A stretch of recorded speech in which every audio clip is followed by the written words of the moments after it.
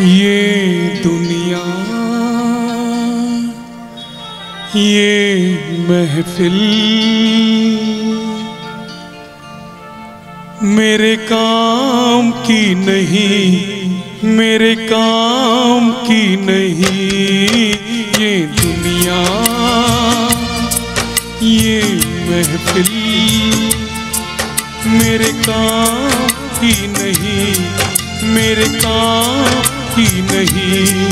ये दुनिया, ये महफिल मेरे काम की नहीं, मेरे काम की नहीं। ये दुनिया, ये महफिल मेरे काम की नहीं, मेरे काम की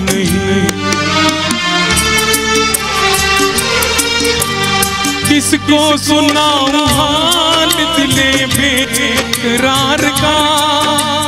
बुझता हुआ चराग हूँ अपने मजार का। ए काश भूल जाऊँ, मगर भूलता नहीं। किस धूम से उठा था जनाजा बाहर का ये दुनिया।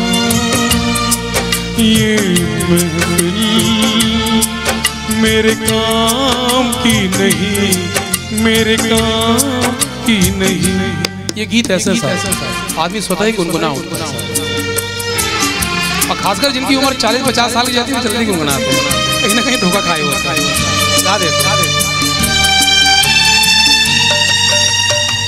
इस गीत के पश्चात मैं आपको बताऊँगा घर में कौन सा व्रत रखा जाए?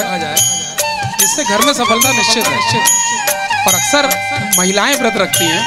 तो जितनी भी महिलाएँ यहाँ पर हैं, मेरे उस व्रत को अपनाएँगे तो घर में सुख, शांति और सफलता आ जाएगी सर। बस है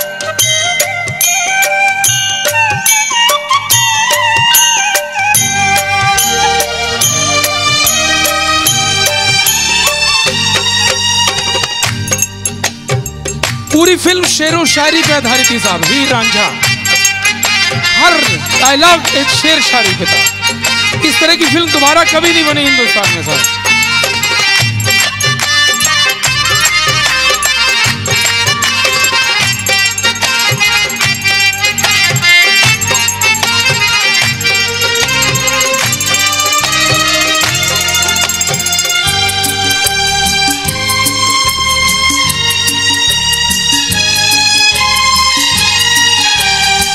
अपना पता मिले, न खबर यार की मिले।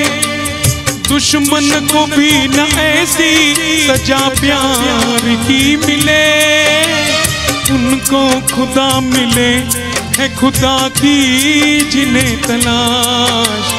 मुझको बस एक झलक मेरे दिलदार की मिले। ये दुनिया, ये मेरे काम की नहीं, मेरे काम की नहीं। आई ऐसे गीतों के साथ एक फरमाइश थी आप लोग की तो निश्चित तौर पर मैं चाहूँगा रफ़ी साहब की आज चौवालीसवीं पुण्यतिथि के अवसर पर हम सब उनको याद करें, और कोशिश है कम समय में थोड़े ज़्यादा से ज़्यादा गीत। एक फरमाइश मेरे पास अभी और भी है, और इस गीत के बारे में बताना चाहूँगा साहब। ये गीत जो है, तार सप्तक से चालू होता है साहब। और तार सप्तक में ही जाके खत्म हो